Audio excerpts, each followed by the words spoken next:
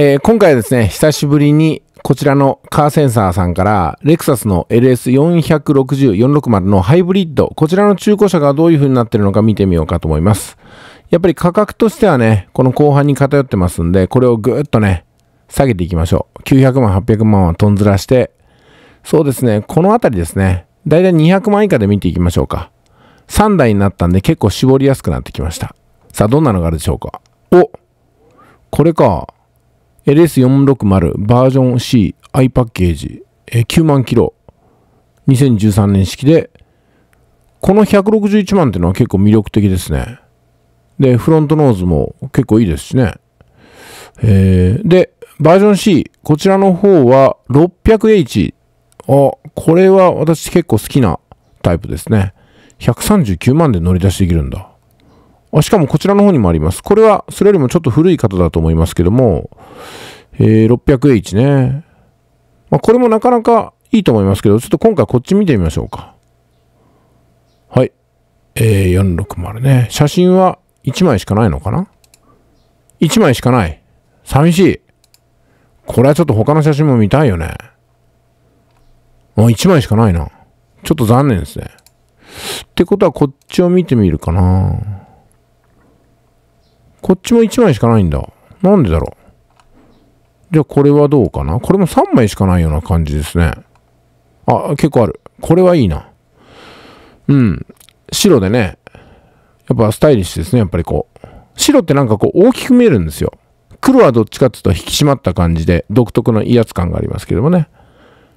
これも安いですね。ああ、内装すごくいい。新車みたい。っていうか、写真は新車なのかなこれ。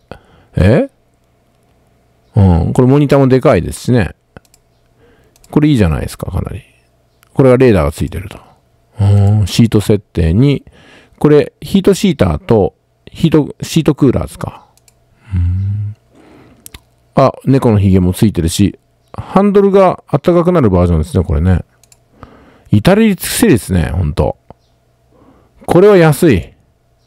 非常に。うん。まあ、あの、セルシオの30と燃費はそんなに変わらないと思いますんで、その維持費的にはね、今までと同じなんですよ。だから買い取り金額が乗っかってくるだけなんで、買い替えても全然いいかなと思いますね。やっぱこのコンソールも素晴らしいですね、やっぱりね。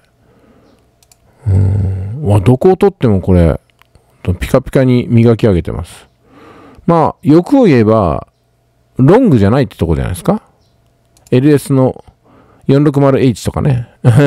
まあ、そんなのないか。うん。わあ、いいな。レクサスってのは純正タイヤも様になってるからいいなと思うんですよね。うん。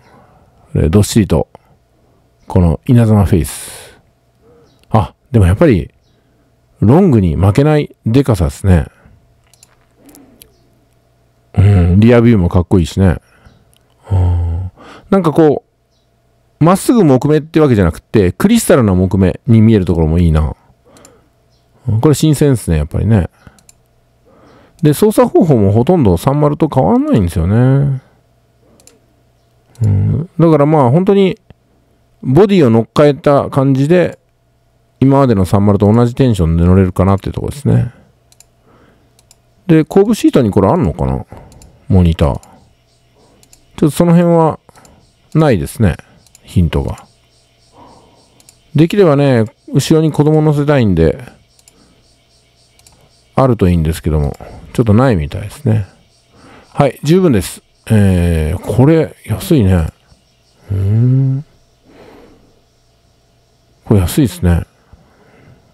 まあ、ただそれだけなんですけど。